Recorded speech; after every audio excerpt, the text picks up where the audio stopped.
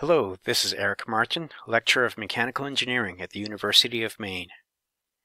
In this video, we'll look how we can save as a PDF, print to PDFs, and merge two or more PDFs together.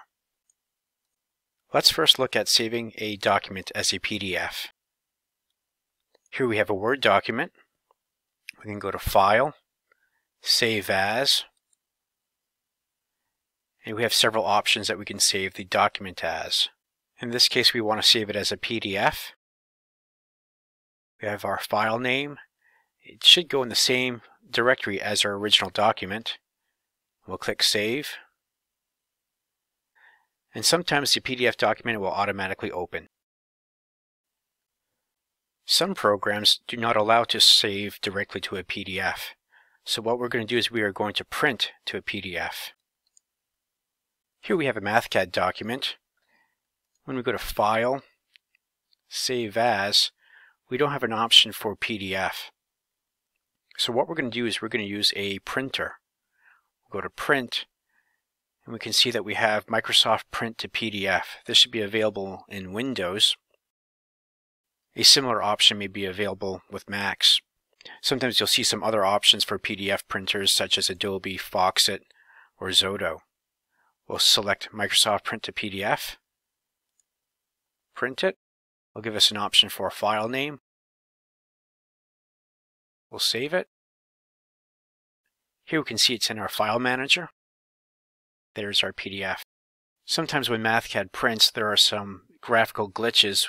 If that's the case, you can try a different PDF printer and that may be helpful.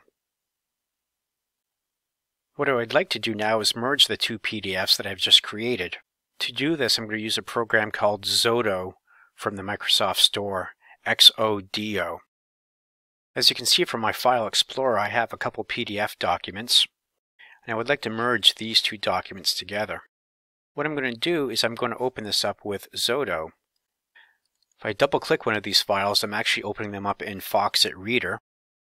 So I'm going to right-click, Open With, and here you see PDF Reader by Xodo.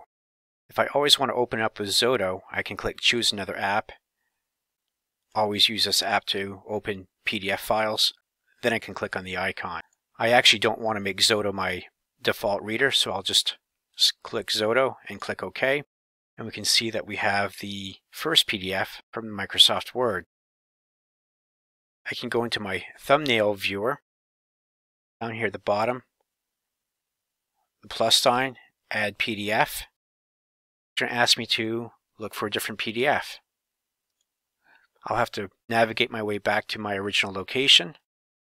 Click the file, prediction calculation by MathCAD. You can see that's popped up there. Neither can save or save as. I'm going to save as. And again, I've got to navigate back to my location. And I'll give it a slightly different file name. I can save it. I can close it. I can go back to my File Explorer and see that the file is there. Double click it. Foxit Reader open. We can see that we have the two PDFs merged. Thank you for watching.